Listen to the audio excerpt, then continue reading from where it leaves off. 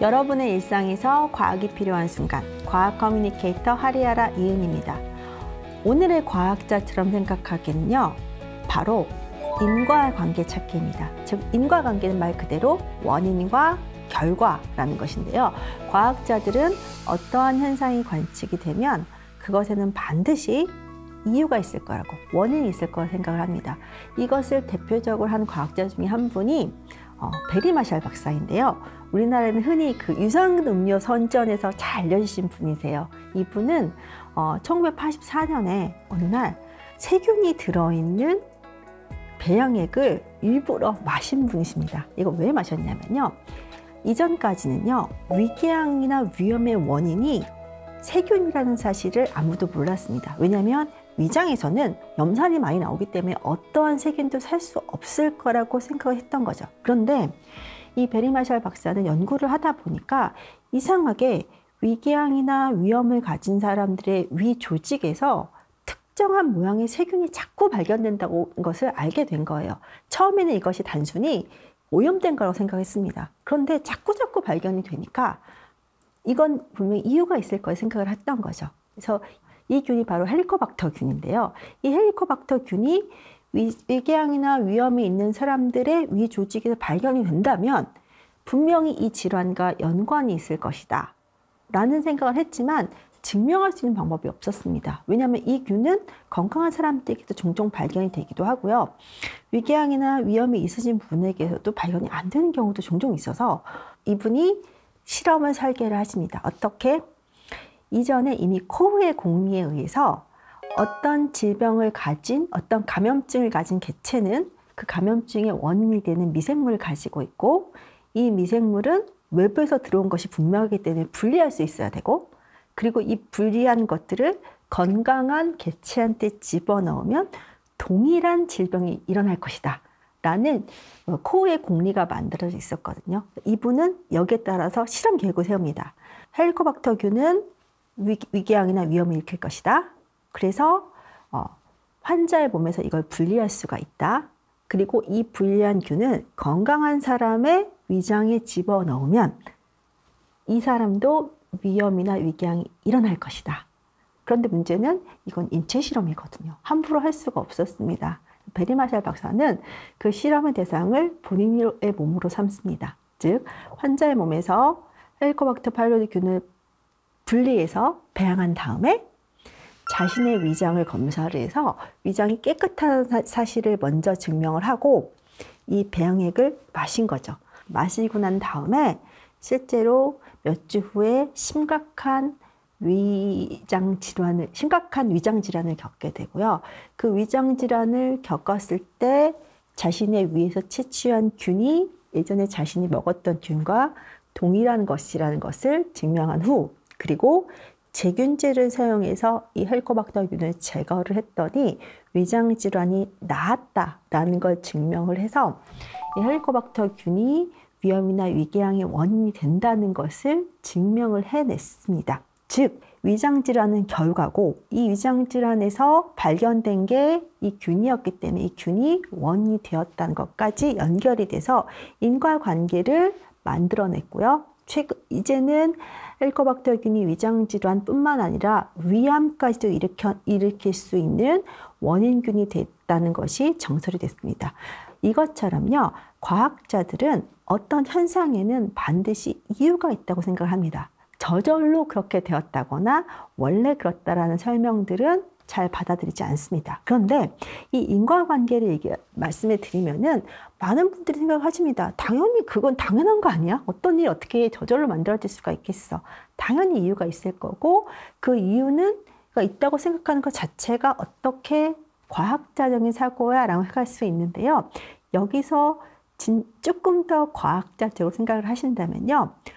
어떤 두 가지 현상이 동시에 일어났을 때 혹은 이 두 가지 현상이 계속해서 함께 관측이 되었을 때 함부로 한쪽이 다른 쪽의 원인이라고 생각하지 마시라는 거예요. 다시 말해서 어떤 현상이 짝을 지어서 계속 일어나게 되면 당연히 한쪽이 다른 쪽의 원인이 될 거라고 생각을 하죠. 근데 여기서 조금 더 과학적으로 생각한다는 건요. 두 가지 현상이 진짜로 원인과 결과 사이에 있는지 여부를 항상 따져보라는 겁니다. 왜냐하면 세상에는요, 까마귀 날짜 배 떨어진다는 것처럼 우연히 일어나는 일이, 우연히 일어나는 경우도 있고요. 혹은 두 가지 사건이 계속해서 일어났지만 서로가 서로에게 영향을 미치지 않는 경우도 있습니다. 대표적인 게 이런 거죠. 붕어빵이 많이 팔리면 스키장 사고도 늘어난다. 붕어빵이 적게 팔리면 스키장 사고도 줄어든다. 그렇다면 붕어빵의 판매량을 강제로 적게 하면 스키장 사고도 줄어들 것인가? 엉뚱한 것 같지만 실제로 붕어빵의 판매 정도와 스키장 사고의 발생 빈도는 경향성이 있습니다. 왜 그럴까요? 둘 다 겨울에 많이 일어나는 현상이기 때문이죠. 즉, 이 둘은요, 서로 간에 변화되는 패턴은 분명히 일치하지만 붕어빵 판매가 반드시 스키장 사건의 원인이 되었다고 말하기는 굉장히 어렵습니다. 이거는 공통 변인이 있는 거죠. 즉, 겨울 혹은 추위라는 공통 변인이 있기 때문에 이 두 가지는 상위 원인에 의한 상관관계에 있다고 할수 있거든요. 허무맹랑한 것처럼 느껴지시잖아요. 근데 우리는 이런 식으로 사고를 굉장히 많이 했습니다. 우연한 사건일지라고 하더라도 두 사건이 동시에 일어나거나 함께 짝을 지러 일어나게 되면 그, 사, 그 사이에서 인과성을 설명하려고 굉장히 노력을 많이 했습니다. 대표적인 게 이제 질병에 대한 치료였죠. 혹시 두창이란 말을 들어보셨나요?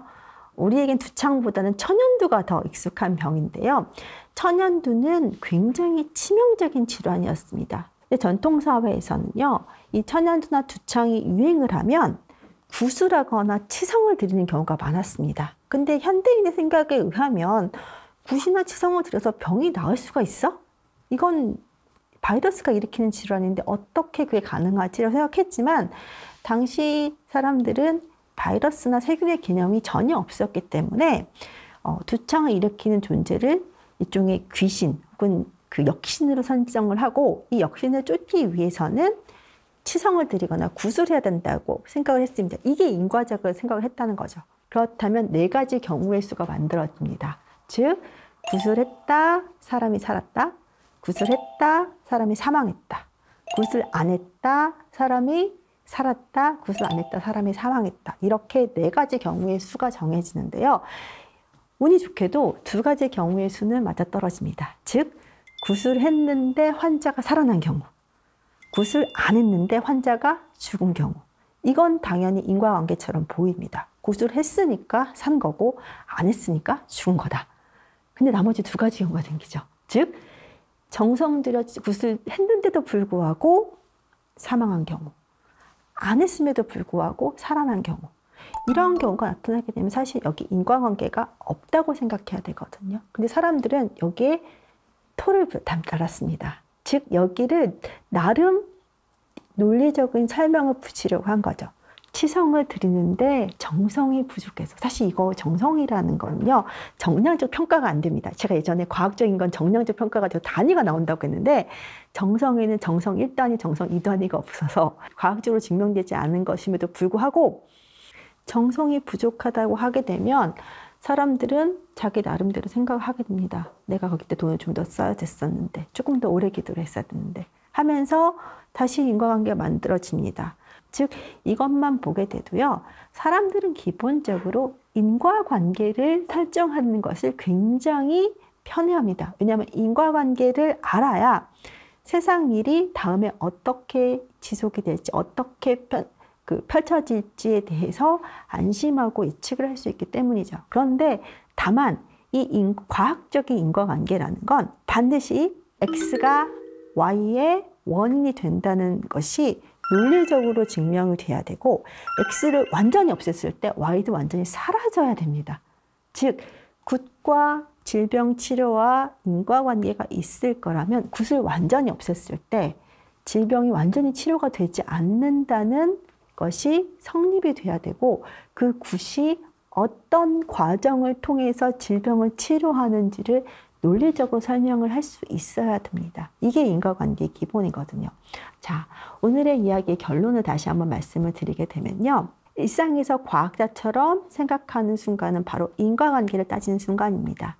세상의 일, 일을 보게 되면 어떤 일이든지 그, 이, 그 일이 일어났을 때는 반드시 원인이 있을 경우가 있습니다. 그리고 때로는 특정한 두 가지 사건들이 계속해서 반복적으로 같이 나타나는 현상을 보이게 됩니다. 그럼 우리는 쉽게 한쪽을 원인, 한쪽을 결과라고 생각을 하고 둘 사이를 연관짓게 되는데요.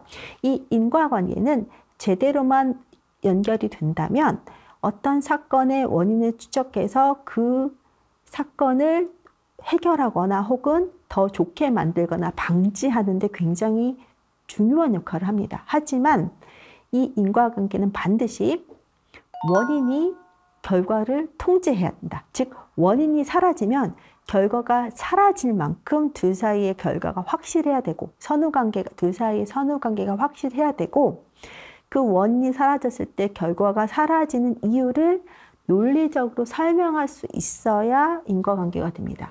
이것이 아니고 그저 두 사건이 동시에 일어났다고 해서 혹은 두 사건이 늘 짝지어 일어난다고 해서 한쪽이 다른 쪽의 원인이라고 생각하게 된다면 스키장 사고를 막기 위해서 붕어빵 장수를 모두 장사를 못하게 하는 것처럼 이상한 대응책이 만들어질 수가 있게 됩니다. 이 인과관계를 제대로 설명하는 연습을 해두셔야 어떤 문제를 해결하기 위해서 내 시간과 노력과 에너지를 투자를 하는데 엉뚱한 곳을 때리는 그런 어, 낭비를 줄이실 수 있을 겁니다.